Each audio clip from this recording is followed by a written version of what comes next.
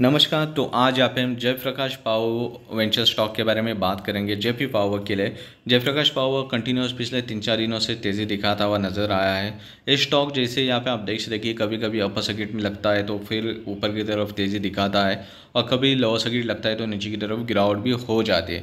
तो इसके अच्छा यहाँ पे आप देख सकते कि रिसेंटली वॉल्यूम भी कम आते हुए दिखाई दे रहे स्टॉक के अंदर और मोमेंटम थोड़ी अच्छी नज़र आ रही है। न्यूज़ देखोगे तो देख सकते कि जी पावर की तरफ़ से यहाँ पे आप देख सकते कि 93 मिलियन डॉलर का कॉन्ट्रैक्ट भी मिला है। यहाँ पे जयप्रकाश पावर मीन्स यहाँ पे तकरीबन एक काफ़ी अच्छा कॉन्ट्रैक्ट मिला है। दो कॉन्ट्रैक्ट मिले तकरीबन नाइन्टी थ्री मिलियन डॉलर में, जिसके कारण स्टॉक में काफ़ी बढ़िया तेज़ी और भी देखने को मिल सकती है। बीस लेवल को ब्रेक करता है स्टॉक तो ऊपर फिर से ट्वेंटी और ट्वेंटी लेवल्स भी देखने को मिल सकते हैं। अगर स्टॉक यहाँ पे वॉल्यूम अच्छे आते हैं तो स्टॉक में और स्ट्रॉन्ग मोमेंटम जनरेट हो सकती है।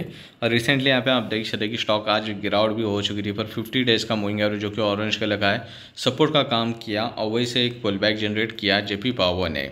तो ये latest update Jaiprakash power ventures के लिए।